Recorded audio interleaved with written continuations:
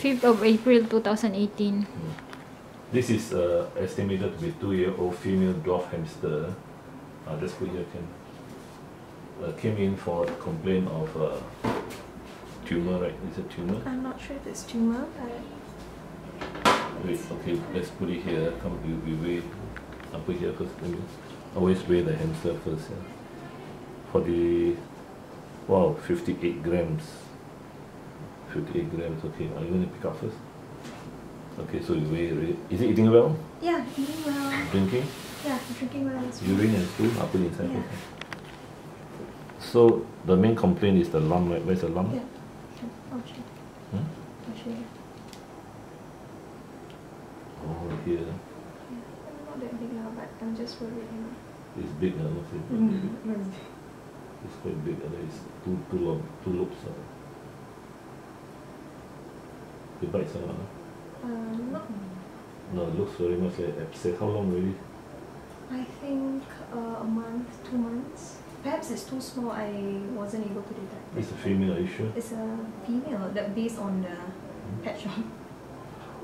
Because uh, one of the possibility, of course, is a male testicle. Wait, put it here first. Huh? Wait, no? You just, it doesn't bite, huh? And Okay. It looks very much like abscess, huh? because so it's not a tumor. no, it's an infection. But but was there another hamster biting him? No, I only have one. It's, it's quite a big one. Compared to his body, it's quite big. What is this thing here, do you know? I don't know. There, there seems to be another small Okay, let me confirm whether it's female or not. Yeah, it's a female.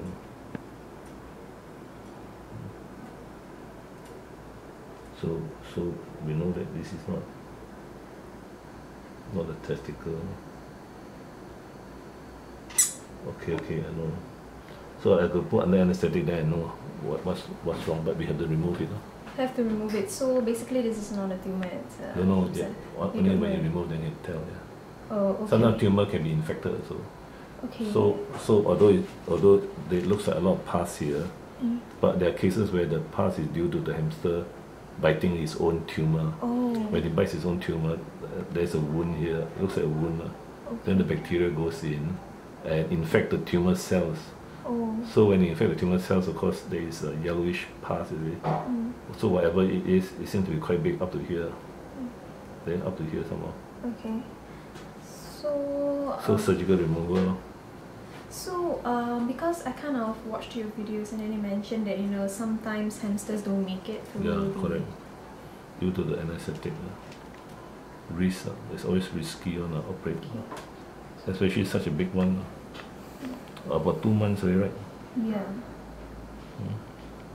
Luckily, it didn't, didn't uh, uh, I mean, affect the legs. Uh. Some, some of them involve the legs. Uh. Okay. Why, why, why is he so angry? Okay. This two years old is very old already, no? How old are you sure it's two years old? No, it's less than that. I think. Hmm? Oh yeah. Wait, I got it end of 2016 December. So you calculate, no? yeah. How old is it? Let me see the teeth. One year, one year, two, three months. Teeth is okay, short. That means he's eating well. eh? No. Not It doesn't show any symptoms or signs of. Not overgrown. Hmm? No, these these tumors are quite common in old, old hamsters over one year old. What is this? Uh? What's he eating? Or food. Such a big one. Uh? yeah. Yeah. Okay. Can so anesthetic risk is there, so you have to uh, uh, be prepared for any deaths, you know, from anesthesia. If, if not, then if we okay already, then go back tomorrow or the afternoon. Yeah, okay, so based on Or your you experiences, right, what is the